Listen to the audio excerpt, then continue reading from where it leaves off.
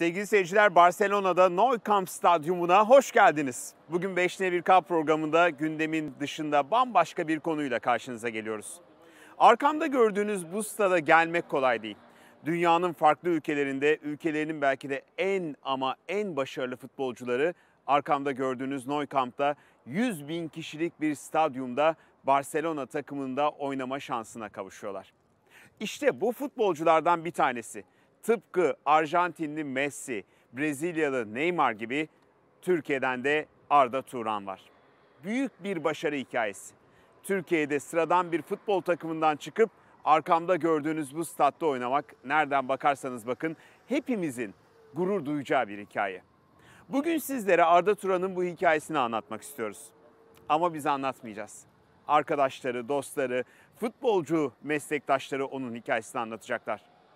Arda Turan'ın hikayesi aslına bakarsanız pek çok Türk gencine ilham verecek bir hikaye. Sıradan, basit, belki de en alttan başlayan bir hikaye, bir hayat hikayesinin arkamda gördüğünüz bu stada zirveye uzanan hikayesi. Onun hikayesi. Arda Turan!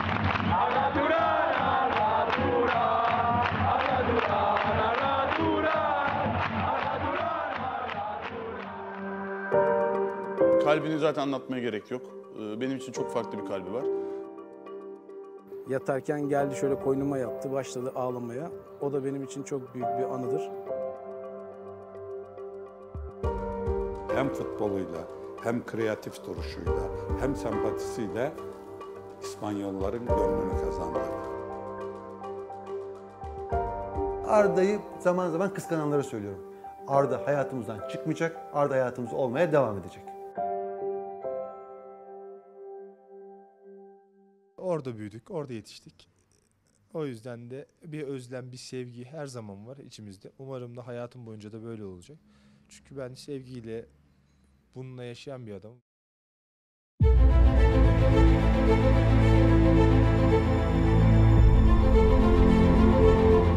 Valla Arda ile ilk tanışmamı çok iyi hatırlıyorum.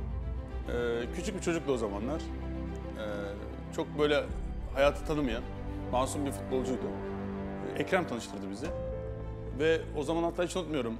Ee, Arda'yı kaç kişi tanır diye iddiaya girdik ofiste. Ee, Ekrem dedi ki, abi herkes tanıyor dedi. Ben de dedim ki kim tanır abi Arda'yı dedim. O zaman Galatasaray'daki ilk sezonun başındayız daha. Ee, Bizim Zekiye var sağ olsun bize çay getirir devamlı. Bize çok iyi bakar. Zekiye'yi çağırdım. Zeki dedim Arda Turan'ı tanıyor musun tanımıyor musun? Ben de Eko'ya şunu ispat edeceğim. Bak diyeceğim e, çağırdık işte güzel bir vatandaşımız ve Arda'yı tanımıyor.